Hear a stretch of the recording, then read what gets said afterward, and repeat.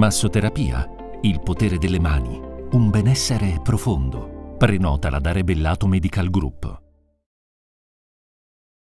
Buonasera e ben ritrovati al TG Plus News di Treviso. La giunta comunale ha approvato le nuove tariffe dell'imposta di soggiorno che viene applicata ai soggetti che effettuano pernottamenti nelle strutture ricettive alberghiere ed extra alberghiere della nostra città. L'adeguamento delle tariffe è stato approvato per le annualità 2023, 2024, 2025 e vuole contribuire a sostenere i servizi locali per residenti e non residenti nell'ottica della nuova dimensione turistica assunta da Treviso negli ultimi anni. Ma io vi rimando al nostro articolo di approfondimento su Notizie Plus con le dichiarazioni del sindaco Mario Conte e dell'assessore al bilancio Riccardo Barbisan, articolo che come sempre potete leggere cliccando sul link che vedete in descrizione della news sotto il video del TG.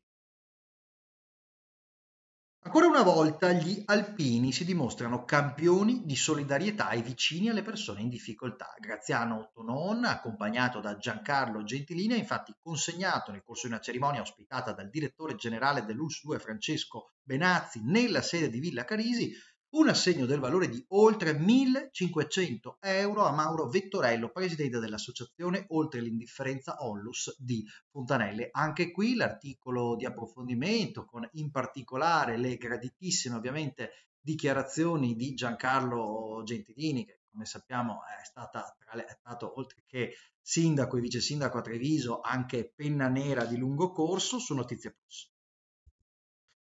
Andiamo alla cronaca, una casa al civico 1 di Via Piccoli a Vittorio Veneto è stata avvolta dalle fiamme oggi nel primissimo pomeriggio in un incendio le cui cause sono ancora oggetto di accertamento. Secondo le prime informazioni sembra che l'incendio abbia avuto origine nella camera da letto dell'abitazione.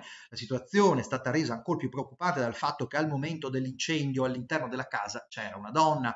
Fortunatamente però nonostante l'intensa attività delle fiamme la donna è stata soccorsa tempestivamente e sebbene sia rimasta intossicata dal fumo non risulterebbe trovarsi in pericolo di vita.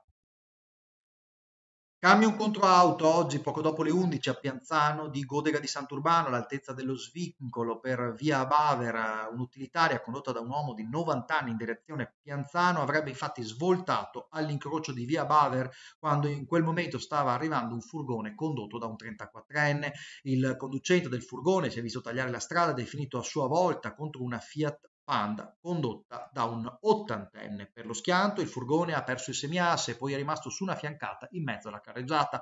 Fortunatamente nessuno dei due conducenti è rimasto ferito in maniera grave. Con questa news chiudiamo anche il nostro notiziario trevigiano e vi ricordo come sempre potete ricevere i nostri contenuti gratis e direttamente nei vostri smartphone attraverso la comoda app TG ⁇